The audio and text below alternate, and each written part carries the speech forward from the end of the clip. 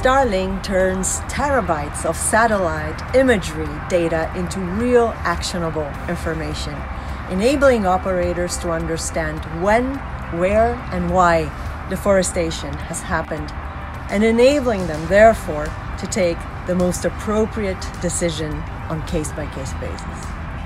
Deforestation is a very complex issue. So I'm very happy to be able to use the technology of Starling by Airbus to be able to accelerate our progress on the journey of sustainability. And this year we have announced and we have shared on our site that we are 77% deforestation free for our major commodities. We moved up from 63 last year. Huge progress and I'm looking forward of course to more. And that's so important for our business, so important for our consumers and so important for the overall sustainability. So it's a very promising tool to accelerate the fight against deforestation with the help of businesses and other stakeholders.